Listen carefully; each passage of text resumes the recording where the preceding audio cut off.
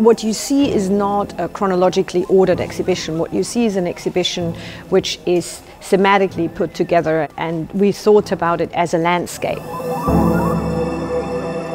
So it's about the human body, it's about cyborg, it's about technology, it's about utopian architecture.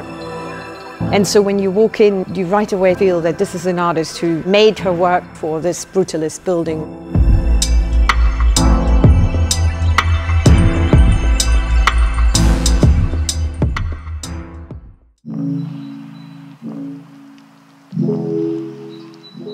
Lee Bul is an artist who is based in Seoul in South Korea. She's the generation of Korean artists who are really very much influenced by the political situation related to the turn from the dictatorship into democracy. Her work is in a very subtle way involved with her own history and the history of her own country. The first room in the Hayward Gallery, you see her very early monster pieces. These works really remind you of something which is not at the exterior of the body, but the interior of the body. So it really feels like she's turning things inside out. When you look up here to these sculptures, these were actually costumes Lee Bul was wearing during these performances, walking through the street. And this is combined with her uh, cyborg works, which were just happening slightly later. She says they're kind of two sides of one coin.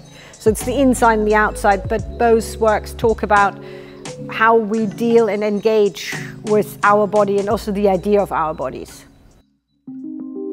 Upstairs, we immerse into her larger scale installations. It's a very site-specific exhibition. She cares about the visitor's body, so a lot of the exhibition is nearly choreographed. It is about how your body feels within a work.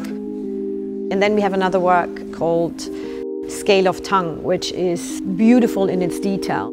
And it's nearly like a three-dimensional painting. So where you very much see that she is interested in the surface and what she calls the skin of landscape.